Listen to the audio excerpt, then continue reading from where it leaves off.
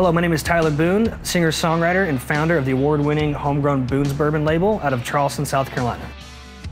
We're here today at the Whiskey House in the Gaslamp District of San Diego, where they hold the Guinness World Record for the most whiskeys in a bar with over 3,700 whiskeys for you to choose from.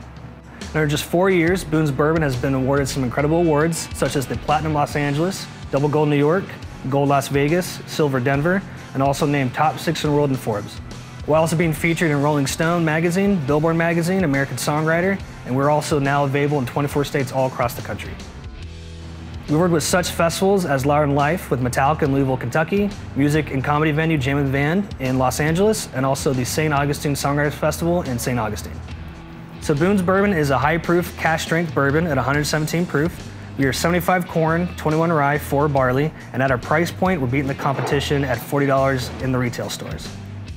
We're now looking for investors to help us start our barrel age program for all our fans all across the United States.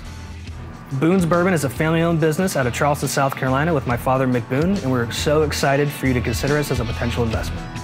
Cheers, and we hope to see you soon.